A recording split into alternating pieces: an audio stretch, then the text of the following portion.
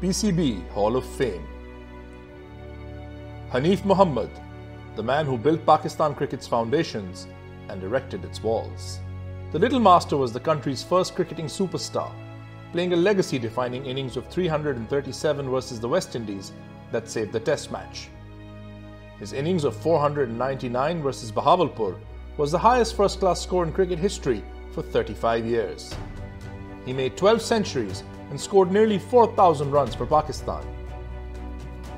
Wisden Cricketer of the Year in 1968 and part of the inaugural batch of 55 inductees in the ICC Hall of Fame. He passed away in 2016, forever a hero to his country.